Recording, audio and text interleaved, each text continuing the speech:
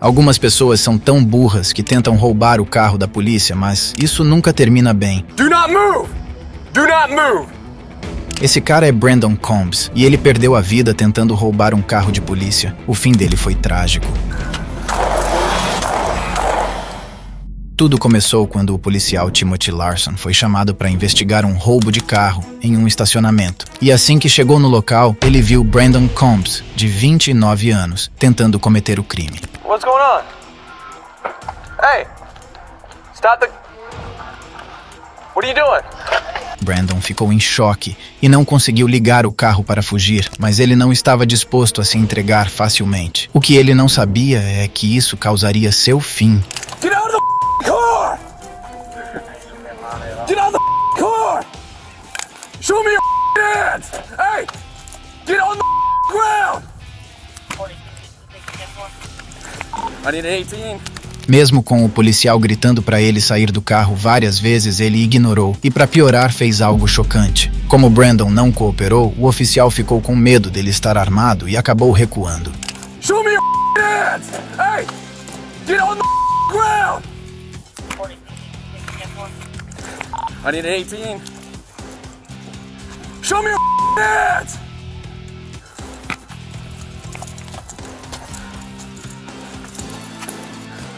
Mas foi aí que o pior aconteceu, e Brandon fez algo que custou sua vida. O policial Timothy Larson acabou disparando seis vezes contra Brandon.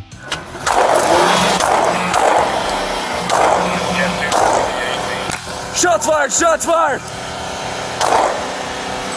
Depois disso, até tentaram levá-lo para o hospital, mas já era tarde demais. O que Larson fez causou bastante polêmica, já que o suspeito parecia não estar armado. Assim, o departamento de polícia quis mais explicações. Foi aí que uma grande injustiça aconteceu. Larson não respondeu nenhuma pergunta dos investigadores e ainda por cima mentiu várias vezes, e por isso ele foi demitido. O problema é que ele não enfrentou nenhuma acusação, e isso deixou a família de Brandon furiosa, que iniciou um processo contra Larson e todo o departamento de polícia. Your car.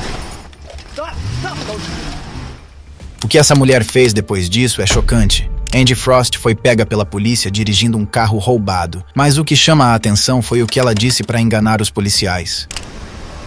What's his first name? Steven. Stephen Curtis. Stephen Curtis Turner is his full name. Stephen Curtis Turner. Okay. Yes. I call him Curtis. I swear I did not steal this vehicle. Um, do you know how he got it? No, I, he bought it. Do you know that, or you think just assuming it? I, I'm assuming it. He's never lied to me before. Okay. Ever. He lives over at Balboa Apartments on 51st and U. I had to move some stuff because I'm moving. Mm-hmm. and he said that I could, you know, if it's, it's stolen, I mean, you take it back and whatever. But I even have a witness that saw him pick me up in it today. Okay. Mas Andy não tinha como provar o que disse, e para piorar, ela ainda tinha outras ocorrências no seu nome. Por isso, os policiais não tinham outra escolha a não ser levá-la presa. E a reação dela ao descobrir isso foi chocante.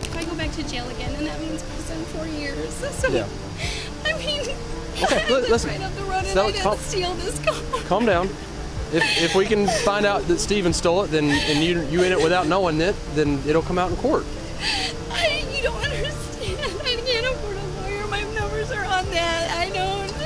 Please, I didn't steal it.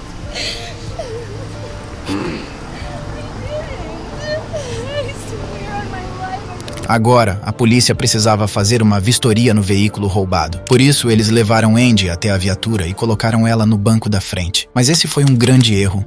Andy simplesmente vai pro banco do motorista, tranca as portas e foge no carro da polícia. Try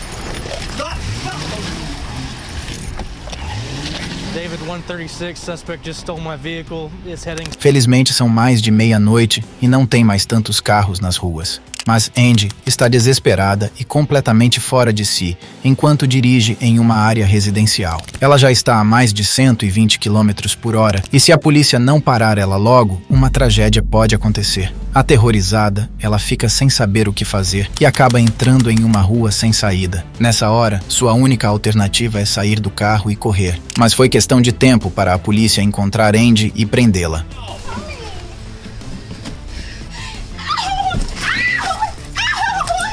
Get on the ground. Anybody in your back? Let's go. It's in let's go. As coisas já estavam ruins antes, mas roubar o carro da polícia foi uma grande burrice. E os policiais fizeram questão que ela soubesse disso. I've seen some stupid stuff, but my gosh.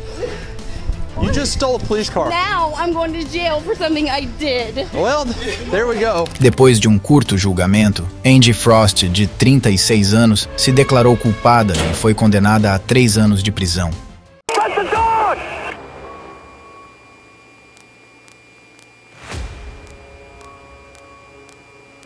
Esse cara roubou dois carros da polícia no mesmo dia e criou uma cena que parece que saiu de GTA. Tudo começou quando o departamento de polícia foi alertado sobre o roubo de uma viatura. Rapidamente, a polícia iniciou uma perseguição e, com sucesso, executaram uma manobra que forçou o veículo a sair da rodovia.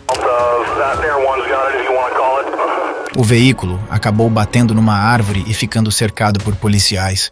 Mas foi aí que Xavier Cummings fez algo que humilhou todos os policiais. Do not walk up on this car. We got enough people up there. Dog! Let the dog!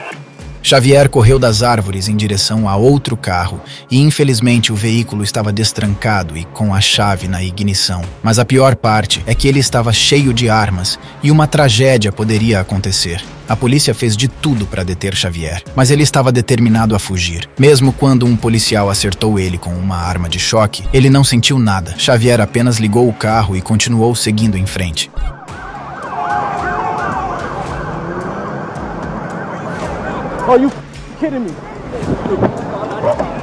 Felizmente não demorou muito para ele ser pego. Um policial acionou um conjunto de bastões de parada que furou três pneus e fez com que o carro parasse. Logo em seguida, o carro foi cercado por policiais armados, que conseguiram prender o suspeito sem mais incidentes. Step back. I'm FBI. All right, all right, yeah, yeah, yeah. CIA. Central. Assim que foi pego, Xavier confessou tudo.